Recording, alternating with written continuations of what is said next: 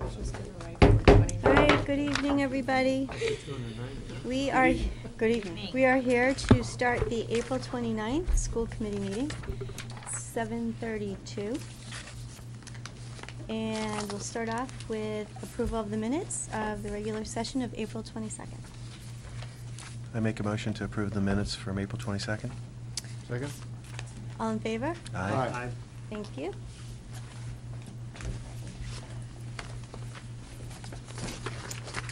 Okay, move on to student communications. I see no students out there. So if Stephen comes, we'll let him go out of order. Uh, Dot, any other communications? No. Five are questions and comments from the audience. Any comments or questions from the audience?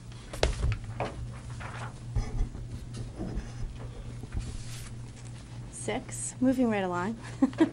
Uh, 6.1 is here an update on the status of the private fundraising activities for the high school fields project. Um, As many of you know, we were lucky enough to um, receive an 80% approval uh, vote at town meeting on Monday night to move forward with Phase Two of the Fields project. And um, part of our ma- mandate that we received at special town meeting in October of 2011 was to make it a private-public partnership. And um, there have been several efforts going on. And I know, John, you received some funds? I have received some funds, yes. Um, Okay. The funds collected today total twenty-seven thousand five hundred dollars. Those Which- are actually in hand. not In hand, yeah, collected and, and deposited into the Fields account. Okay, so those are mostly bleacher, Those were the, um, campaign, uh, donate a seat campaign. okay, great. Would you like to come forward, Warren, or wait? Yeah, um, Sure. The, Gotta come forward. I'd love to come forward. We love to hear from you, Well, so. you so. Yeah.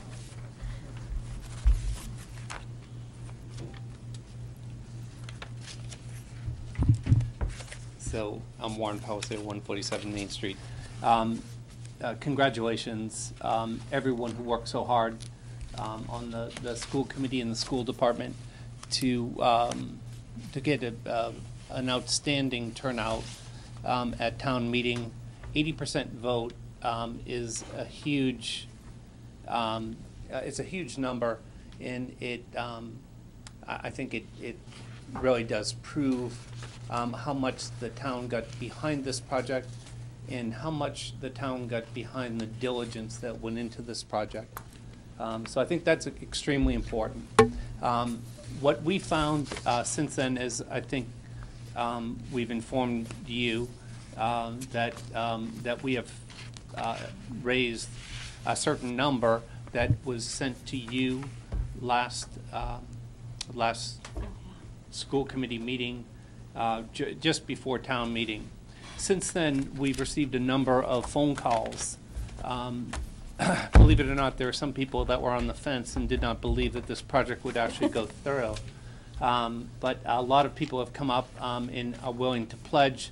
I've sent them the, um, the uh, pledge levels that um, Andy had worked on so diligently um, and put together and got approved by you.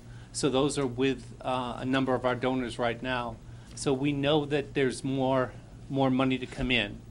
Um, And I guess I'd hate to characterize that right now um, without uh, first having a chance to speak to everyone about what uh, their level of interest is, but um, I know it's significant. Okay. And um, I know you were waiting to hear a little bit from us in regard to um, our donation policy, and I know Carol has done some research over the weekend. So, um, So that would be fantastic if, uh, if we could get some, uh, I- I've read through the, the, um, the naming policies and all that, that, and I can read it seven different ways. Um, And not being a lawyer and not totally understanding the shape, um, and also the, um, really the, the timing of all those developments. I don't know that though, that committee, when they sat down, they took into consideration fields, and they took into consideration um, you know, the, the foul poles and things like that. I don't necessarily think they took all of it into consideration. It was more about large buildings and, and dedications. Uh, I think this is a little bit different, and again, depending upon how you read the wording, it could be, one could read the, the wording to be that certain things, um, could be donated and therefore named. Um, so I'd love to get a better feeling for that because people have, um, specifically requested, um, information about that. Okay. All right, that sounds great. Thank you so much for being a wonderful partner Well, to the thank you. Hingham school system. Congratulations. Thanks. I'm just looking for Warren's letter that he delivered.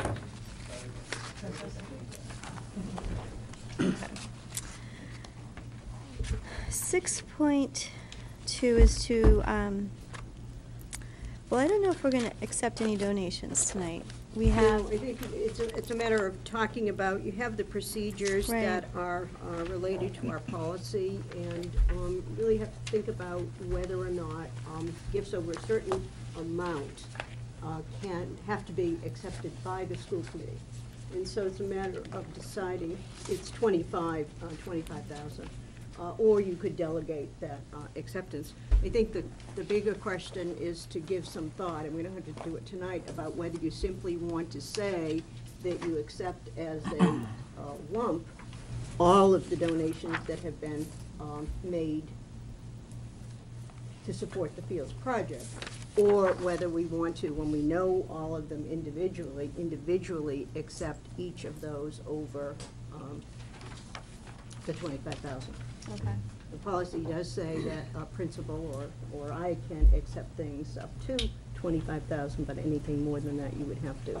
So we might wanna have some of our legal minds think about what's the best way to proceed on that, so that when we do vote, it will be either one lump sum or one, one vote that would cover all of the donations, or whether we, there's some merit in wanting to separate them out, not necessarily by name, but by amount. okay.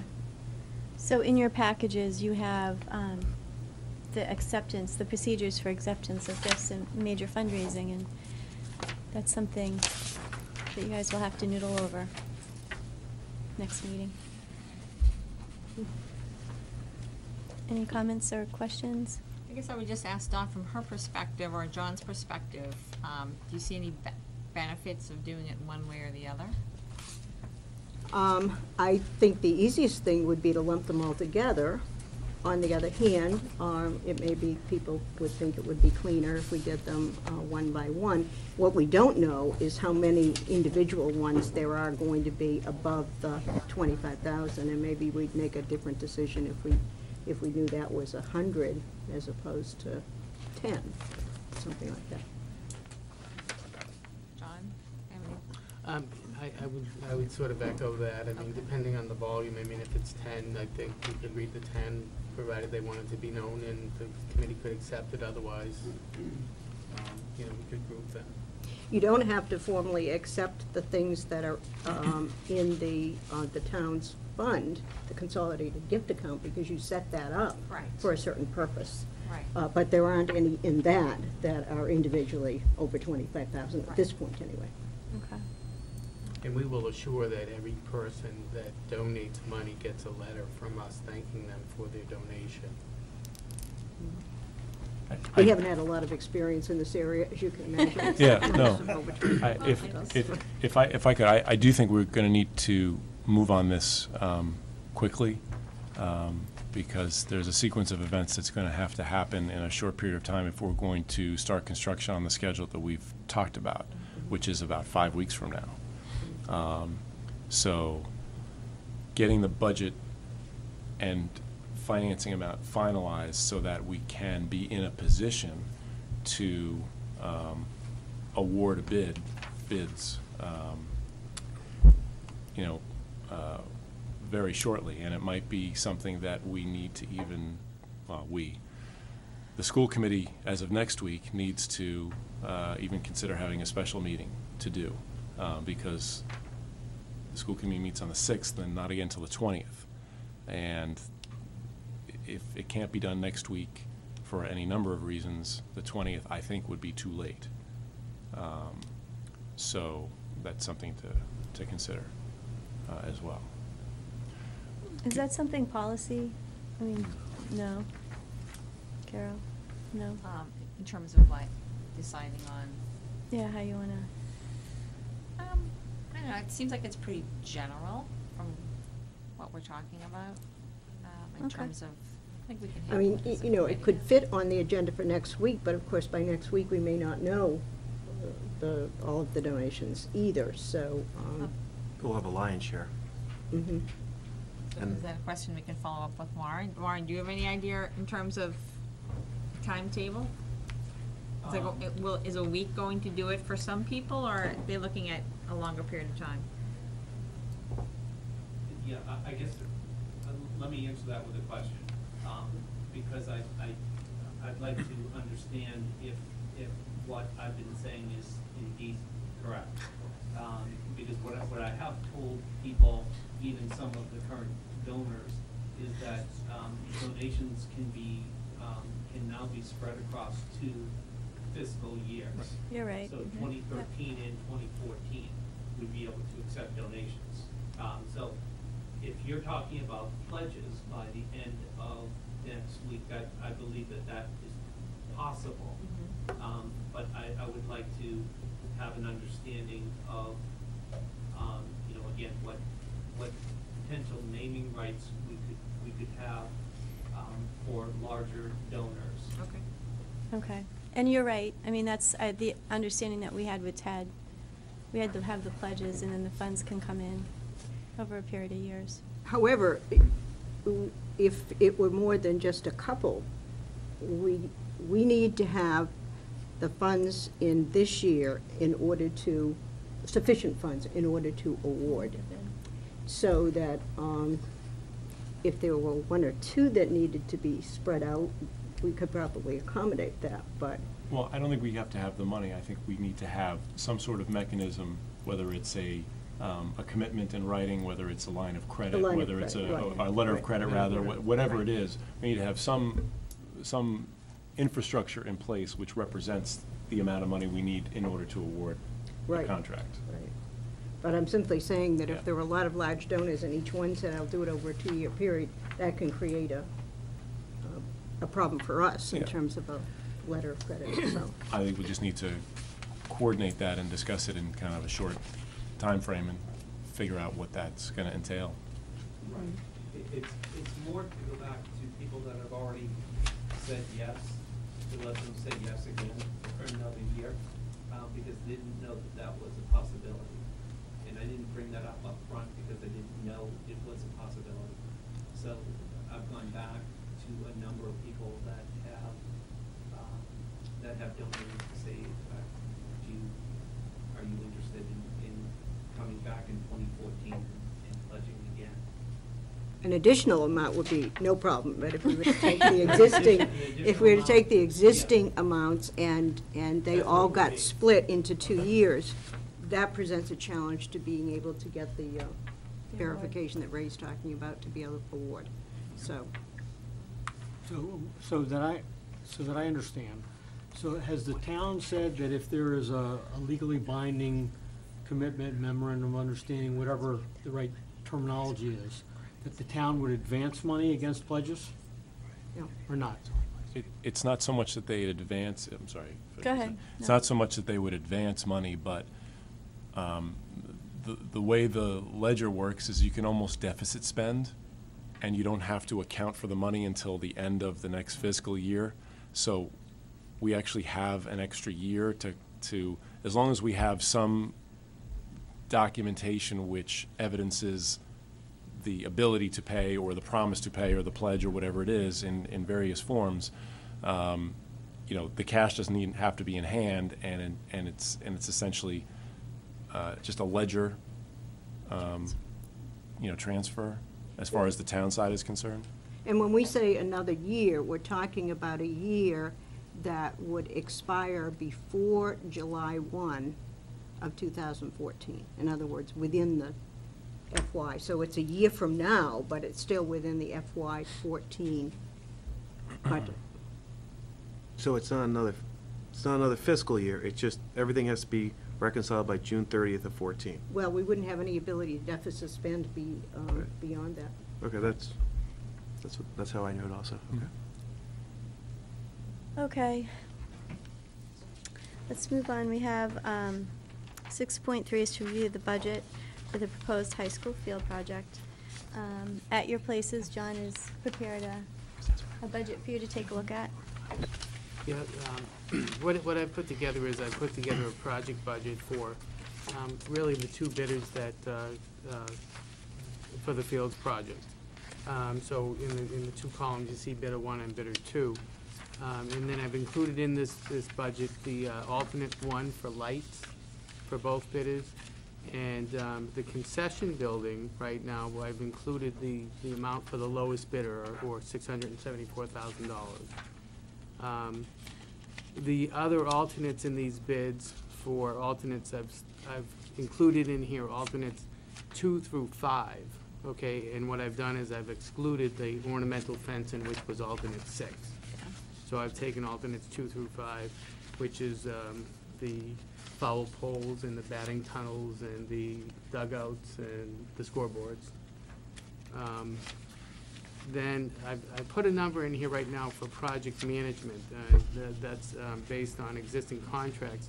But, you know, if you look over to the right, there's a little breakout box there, because, um, I, I think that maybe we wanna include a few extra project management dollars. Um, you know, at, at a minimum. The, and then, um, looking at the total, I've got a contingency in this budget right now of, say, five percent. And down, when we look at soft costs and stuff, I have uh, a, a column here, or a placeholder really for legal expenses, whether we should include some legal expenses in this budget or not. Um, soft costs for BAN interest, I've calculated on the second side of this, on the back side of this page, is sort of a bond model or a cost model, so that's where these numbers came from. And, um, the bond issuance cost of about forty-two thousand dollars. Um, putting that, those numbers all together for bidder one or bidder two, you see the amounts there. Um, when we look at the, um, base bond, uh, for the, for the, um, base bond funding by the town for Article eight was three million, seven hundred sixty-five thousand, one hundred and eighty dollars. The additional bond costs, um, for the second article, Article nine, was four hundred and fifty-four thousand dollars. Okay, and then we also have CPC Article eleven of fifty thousand dollars. So we have cumulative funding from the town votes in the amount of uh, four million, two hundred sixty-nine thousand, one hundred and eighty dollars. Um, now, taking a look at the base estimated costs for both bidders, um, and we see that, you know, the project funding balance before fundraising, um, bidder one, the, um, the, the need is about 1.23, $1.2 million, dollars, um, 1.1233820, and for bidder two, it's $1,342,075 as you go down here, I've got the area now, before I had heard numbers for lights and HSP donations and the big green and the seats. Today, I've collected revenues of twenty-seven thousand five hundred dollars, just seats, so you only see seat revenue in here, because what I think we need to do is find out exactly what those other numbers are for sure, and, and we could put them in. Um, So total fundraising, uh, raising sources that I have right now is, um, twenty-seven thousand five hundred collected. And you know what, I forgot to pass this in last school committee meeting, it's the letter from Warren on the Hingham Sports Partnership, so we should So that add will that be- to the official Yeah, records, okay, so we'll, we'll, yeah, that, and, and that's what, I've set up the model so we can just, you know, we can plug in the numbers so we can see exactly where we are.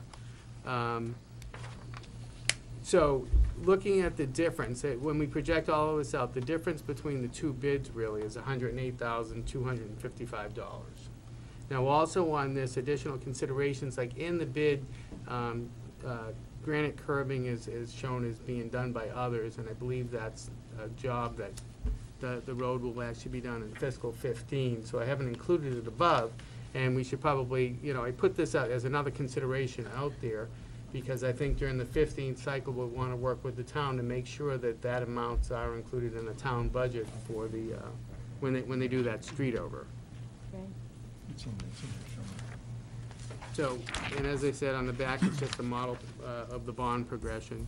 And as, it's set up so that uh, it becomes a sheet that we can actually work with to determine the funding that we need. Thanks, John, for putting this together. Does anybody have any comments or questions? One comment. So you mentioned legal, and we can cover this now, we can cover it in the 48-hour item, but I do think we should uh, consider seriously uh, engaging project counsel for this. Um, We had one on the East School project, we have one on the middle school project, um, and there invariably is a need for legal counsel.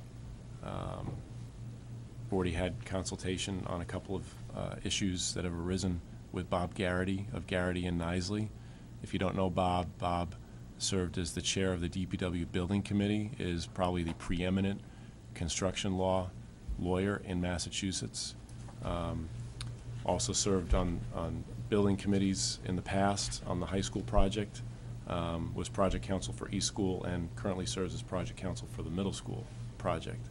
Um, So my recommendation would be that we uh, vote to retain Bob and his firm uh, to serve as project counsel. Um, What Do he, you- you have suggested numbers to what that might be? uh, wh- What we, I'll just give you an example, on the middle school, uh, we don't have a set retainer, that's a different animal because there was kind of a, a number um, figured into the budget that was MSBA-driven to, a- to a certain extent. Um, The arrangement we have with Bob on the middle school is a, a- an hourly, um, it's a pretty low hourly um, comparatively. Um, No upfront retainer. And speak of the devil, Bob Garrity just walked in, and we were just discussing the prospect of retaining project counsel for this. Um, So um, I think it's, uh, it's something that's uh, necessary for us. Right, I would suggest that we do the action under the 48. Sure. Since this agenda item was not in Sure, I just wanted to mention, because Bob, uh, Sure. John did bring up legal, and there was a question mark, so I think it's something, yeah, I agree. And um, Mr. Garrity and Dad, I think neither one of you signed in, so if you guys, whoever just walked in could sign in, that would be great. All right, uh, any other questions on the budget? So we're a little bit over. Um, A lot of it, I think, uh, when I was talking to Bill about it, a lot of it is the drainage. We can, uh, you know, there's a lot of drainage in here, which means the fields are gonna drain beautifully. Um, And some additional, you know, possible fundraising prospects, I think now, once we have uh, a, a field that's been vetted, a project that's been vetted by the town, and with an eighty percent approval at town meeting, um, there will be some donors who will be more than willing to step up and contribute to a winning, a, a winning project. Which brings us to six point five, which discuss, um, or six point four to uh, ensure alignment between the proposed budget and the available funding. So, um, Paul and Emily, you guys need to sign in when you walk in. Is there anybody not named Falvey sitting in the room at the moment? Dad's a Chambers. Um, so I don't, you know, I, I think we've kind of, we've heard some strategies. I mean, there's, um, the building could get looked at. Uh, Yeah, as soon as we know what degree of alignment is needed, if any, um, you know, we may need to take uh, some action, but certainly some suggestions would be, we could go out to bid on the building. Uh, Again, we could look at uh, some changes um, in that through a change order process. We could look at these bid alternates, which right now are included in the, in the total, but um, you might have second thoughts on those. So there are a number of different strategies you could um, be thinking about. We thought it was important that um, you give some thought to those, so that when we are ready to make an award, um, we will have the detail that we need. But right now, there are the two missing pieces. Yeah. The, the total cost which will reflect whatever the bid award is, and the um, total funding availability, which will reflect, at this point, the knowns are, are there for the, from the town and CPC, so that will reflect the, um, the fundraising. So as soon as we can get those two things closer, uh, well, more definite, I should say, then we'll know where we are in terms of what degree of alignment, if any, there needs to be. And they've, you've, ha- you have the bid sheets, right? Do they, have they gotten the bid sheets with the alternates broken out? Um, They were in the original, you know, the original budget sheets, but we haven't looked at them for a while. Okay, so you'll need to look Um, at but those So we can again. get those to you, that's a good point, Yeah. to, to just Oh, get yeah, out sure. that, uh, that list of the uh, alternates. I think, They were um, not. I, I know I emailed it to Dennis, did you, yeah. Yeah, so everybody Did- should get a Yeah, absolutely. copy of those, and, you know, foul poles can be an alternate, dugouts can be an alternate. I'm just trying to see if I have mine here. Carol, have we heard from anybody who would be, any organizations who might be interested in covering some of those? Yeah, I've heard, we've heard from some, soccer would like to be involved with striping a field, and, Mhm. um, I think Little League expressed some interest in Foul foul poles. poles. Okay, Um, so there's, so we, so we could maybe remove some of those items, feeling reasonably confident that they will be donated. right. And there was that whole list, Andy, you put together of, you know, suggested items that uh, donations could be directed towards. I think the big thing is Warren said, and you alluded to, now that we have this accepted, now this is like the second push again. And people, now that's a reality, our only, our, the unfortunate thing is, we want to sign documents soon and start building Right. soon, and Right. that's the, that's the challenge right now. Well, you know, I mean, the other option is, and I, I even think, you know, hard about saying this, that you could throw out all the bids and start from scratch if you want to. I mean, if you wanna, if, you know, it's an option. You don't have to do it just on the building, you can do it with the fields. Well, not exactly. We can't just rebid just because we don't We like have the to numbers. change- you'd have to change it. something. Yeah, we'd have to alter the project. back into the Right. permitting. Right. Okay. So in terms of, I- I- guess that in terms of the, the fields portion of this, not the concession building portion, um, uh, some, since, when I was here for the concession building, we had, there was some, I uh, had some discussion, Bill was involved, and you seemed to, and the feeling seemed to be that the fields part of this was, not to use, no pun intended, but in the ballpark, in terms of that we wouldn't, if we were to go, uh, and in order to get it down, we would obviously have to go out and rebid and delete something or make some significant changes to get it down significantly. Right. No, that's true. Yeah, so if that's the case, unless we have, unless there's some interest in doing that, uh, to make some significant changes in terms of reducing that scope, uh, if we went forward, if we decided that, that we were going to, you know, that that wasn't an option, and we were gonna go forward with the fields, in essence, the way it was scoped out to begin with, uh, we would have enough money in the budget between what was approved and even a relatively small amount of the fundraising to go ahead with that bid at this point. Correct. You do. That's correct, right, John, from, Mhm. in Yeah. terms of your spreadsheet, if I understand it here? Between what t- the town has already authorized and the, and the, uh, and the CPA and, and so forth, we wouldn't need a whole lot of additional fundraising to go ahead with that piece of the bid, Right. okay? Right. Bill, did you want to say something? Just You have to couple. come up to the, sorry.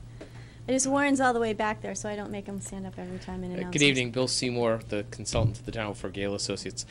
Um, Three quick points regarding Dennis's comments. Number one is that in order to go back out to bid for the field project, or the building project for that matter, you have to make a substantive change. You can't, as bids are exposed, you can't put the project back out to bid because you want to look for a better number. Number two, inherent in making a substantive change, depending on how you define that, you're, you're then starting, uh, the permits at that point become, uh, if it's a substantive change, then it's not a minor, uh, change to the permit. So you have to go through that cycle again. Number three, and this is the one that I think is perhaps the most important, is that we can't think of this in terms of making an award several weeks before anticipated construction is to commence. Um, because three of the items, and I could probably think of more, but lighting and seating and the carpet are all specialty fabrications that are custom-made for your project. And the queue, particularly as it relates to, to seating, uh, is, is fairly long. So uh, implicit in that is that we really knew, if, if the schedule is to be adhered to as it's been published, we have to make an award for the field aspect of the job pretty, pretty Pretty quickly. PDQ. With regard to the building, and we've talked a little bit about some value engineering uh, as it relates to the building. If you wanted to rebid it, uh, and I don't know that you do, and I don't know that we want you to, but I don't, I'm not as concerned about fabrication as it relates to the building, and I'm not as concerned about permitting as it relates to the building, as long as the footprint remains essentially the same, its location is essentially the same, and the function is essentially the same. I think that, in my opinion, could constitute a minor change to the permits that you have in hand and could be done administratively without revisiting all of your permits. Those are my comments. Thank you. Thanks. Any other comments or questions? Okay.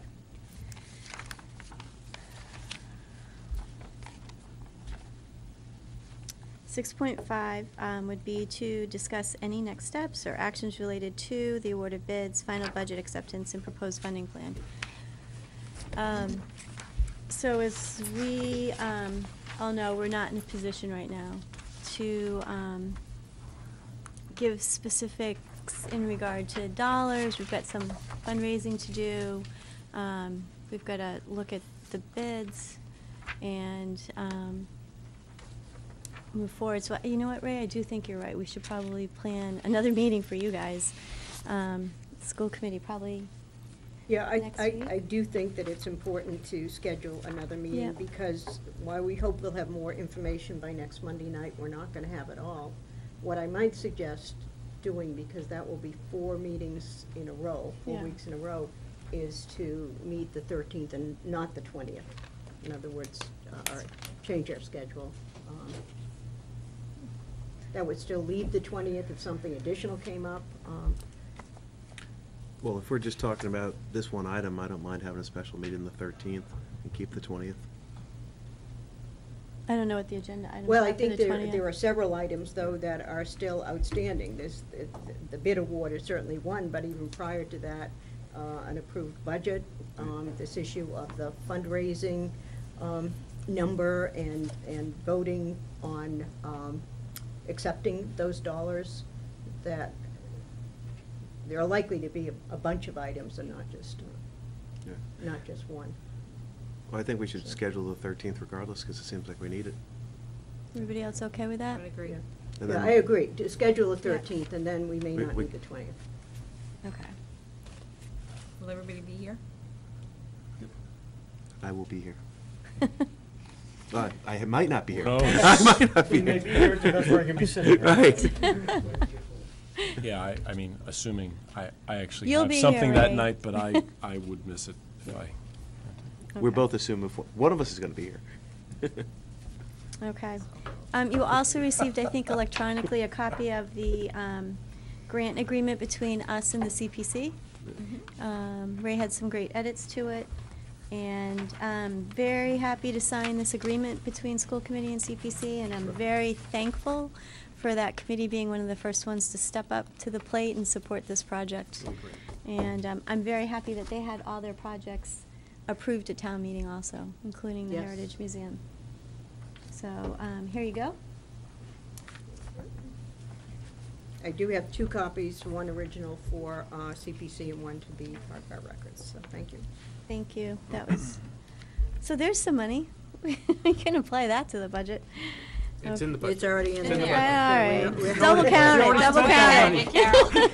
it. That one was voted. I The knew bonus that might be if we get that grant. The grant. For the, f- for the field Exactly. turf. When What's do the we hear? timeline on that? They said Uh, sometime in May. I Yeah. think they said It mid-May. It happens pretty quickly. Yeah.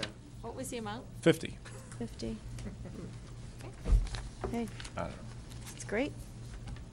Six point seven is to receive information regarding an overnight field trip of four students in grades ten and twelve to World Right, Challenge. That's that same World Challenge program that has been to Vietnam, and where else have they, that they've been? Uh, India? India, yeah. Um, And so it's a great program, it's a small group this year.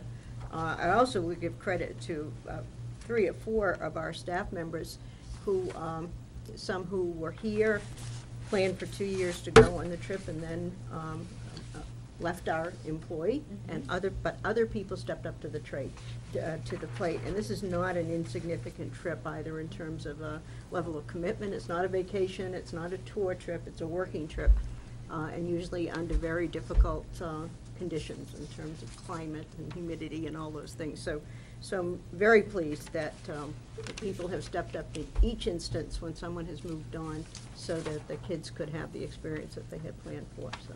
Dot, do you know who, who will be attending this trip? Um, I think it's, where's Caroline? Christina Christie, I O'Connor. think it's, Christie uh, O'Connor. it's on the sheet. I Yeah, have it in front of me, Christie Christie. O'Connor. Didn't she go on the one, the last trip? Um, not sure who went on the, the last one. Ellen started them, and then I think she Dana did, did. right? Yeah. I, th- I thought she stepped And in then the last time. Dana did one, uh, and, uh, and now we have uh, So, Christie. what was the, the, um, I'm not familiar with it, so is it the criteria, was it, was it something where people applied, or was it a certain study group, or? Well, uh, they, they apply in the sense of expressing an interest, and then it takes about two years to do all the fundraising um, that is required for it. And it's about a three-week, it's a long trip. Um, And, um, and there's a work component, um, things like uh, helping to build an orphanage, that kind of thing. Um, So these students don't come from a particular class or major or? Not a particular club, no, it would be open to anyone. The other groups have been larger groups, but. Okay. Uh, 6.8, 6.9, and 6.10 are to receive notifications of resignations. We wish them well. And then seven, other items not reasonably known in 48 hours. Do you want to make a motion? Sure. Okay. Uh, I would move that we engage the firm Garrity and Isley, and specifically Bob Garrity, uh, to serve as project counsel for the Hingham High School uh, Fields Project Phase Two at a, uh, a rate and terms to be determined by mutual agreement. Second. Any other discussion? All those in favor? Aye. Aye. Any opposed? Okay, great. Ray, Building Committee report? I have nothing. Okay. Sorry. Sorry. I've been busy with other things. All right, subcommittee reports? None. Superintendent's report. Um, I left a number of things at, at your place tonight. One is, um, uh, report number three in terms of the kindergarten, um, enrollment. And that number is continuing to climb. Um, so this projection has next year's kindergarten at, um, two ninety at the moment, but I'm not in a total panic yet, because, um, if you look at the chart down near the bottom, where it is row F, which is the total number of kindergarten packets distributed. When we uh, do our projections, we make the assumption that anyone who bothered to come and pick up a packet would in fact return it.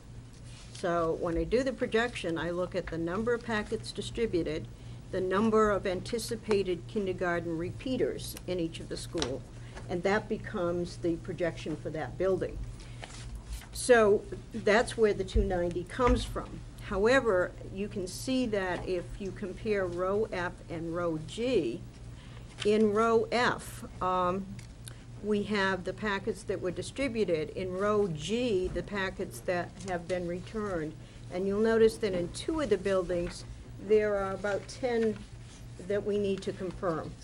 Uh, the secretaries are busy looking at, um, making phone calls to clarify these numbers, but in fact, um, there are some outstanding ones. So if all of those packets that are outstanding were re- returned, we would be at the two ninety.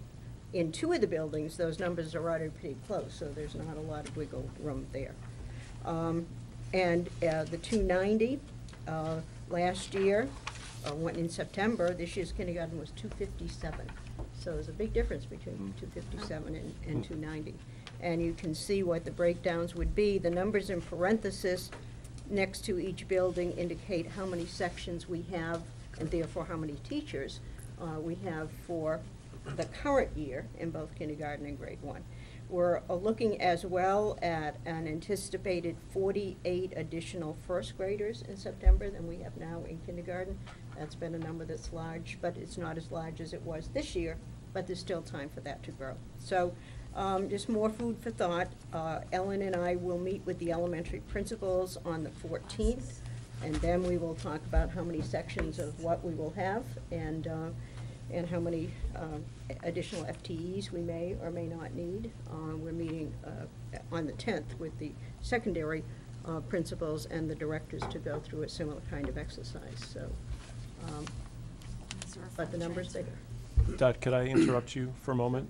Um, We've been joined by our state representative, Garrett Bradley.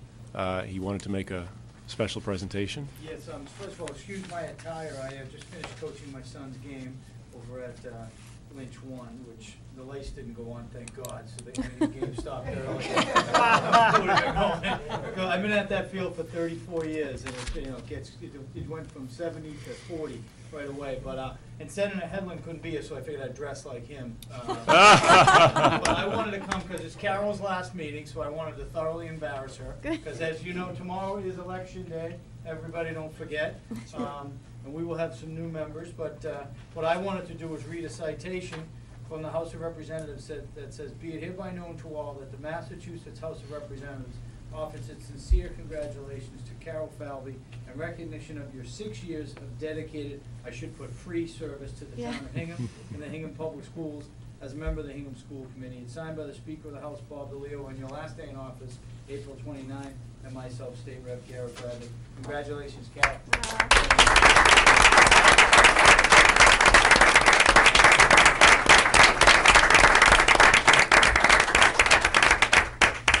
you for letting me interrupt. Thanks, Forty-eight Gary. new students, that's good to know. Dot will be calling me, I'm sure.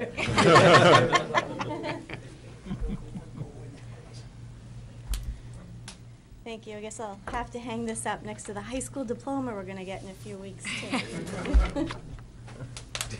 Um, The other thing that I handed out tonight is a, uh, a report that came from the MASS, that's the Superintendent's Association uh, lobbyist. Uh, They keep us up to date on what's going on at, uh, at the State House, and in particular with respect to the budget, and with respect to the um, Ways and Means uh, agreement that came last night. So, so what you have is a memo that is from the Superintendent's Association, but actually, um, it is a summary of what happened last week. And um, I did send you all an email the other day that said there is uh, an amendment there that may benefit us, uh, in particular in terms of some additional money for security. I think we all will feel more comfortable when the whole thing is voted and the governor has signed it. But it is good news that there may be some additional dollars uh, facilitated by Garrett um, to uh, help us with some security that we were not going to be able to fund within our um, operating FY fourteen operating budget. So, on the front of that um, memo that I gave you, there are two numbers, and they are the numbers that are the total chapter seventy aid that would be coming to Hingham. Uh, That's six million, three thirty-five, oh five two. And then another category of state aid, which is called unrestricted uh, local aid. That's the one three six six four two eight. So that's a total of seven million, uh, seven hundred one thousand, four hundred eighty dollars. And uh, I haven't compared it exactly with what was in um, Ted's forecast budget, the most recent one, but it's in that, it's in that neighborhood. This particular memo doesn't say anything about the extra twenty-five dollars per student, so I don't know the, uh, the status there. But it does suggest that, uh, they have added some money to the Metco budget, and they have added some dollars to the, uh, circuit breaker budget, and we don't have our own allocations in either of those things yet, but, but some good news coming from, uh, from the State House as well. That's great. You all did get an invitation to the, uh, Century Club. Century Club banquet uh, at South Shore Country Club, and this is where the top 25 students in each class, 25 is designated by the unweighted uh, uh, rank, and uh, it's always a very nice event. It's a dinner, and um, kids receive uh, some certificates. It's very well organized, um, and so it moves along quickly. Uh, And typically, there's a speaker. I haven't heard this year who the speaker would be, but it would be important um, that you RSVP if it's something you're interested in uh, attending. And just send it over to Paula, or give it to me, and we'll put it in the interoffice mail uh, for her. Okay. That's it. Well, I'd like to note the three cheers for school nurses article on the back. I thought that was really, Do what? the three cheers for school nurses. Oh, yes. That's a great little article. It was a very nice letter. Just came along, although it was written some time ago, I think, but, um, but I just got it the other day. Okay, I believe we have reason to move into executive session. Uh, I need a motion. All right, before we get to a motion, we just would like to present you, Carol, with some flowers over here. Thank you very I much. was wondering who those flowers were from. Rebecca. This is from all of us. They're from Andy. Thank you very much for your leadership, your patience, and all the time that you've sacrificed on behalf of the kids. Thanks so much. Thank you.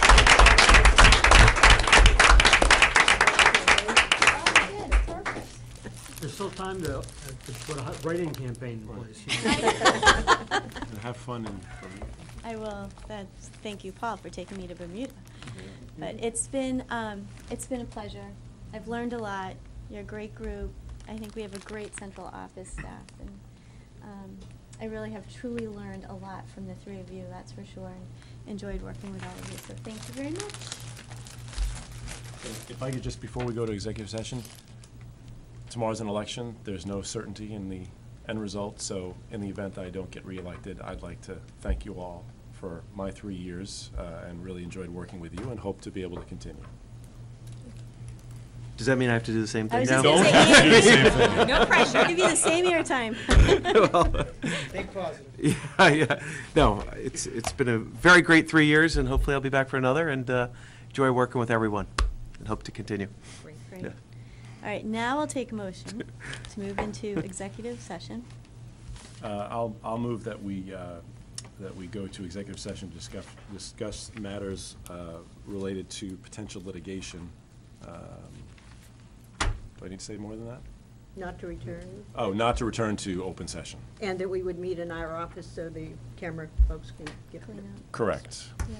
I need a second. Second. All in favor? We We have have to to do this do individually. individually, so. Individually. Aye.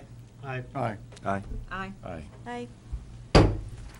Thank you. All right, where are we going to move to? We're going to uh, Dr. Galo's office. It's easier. Around a table.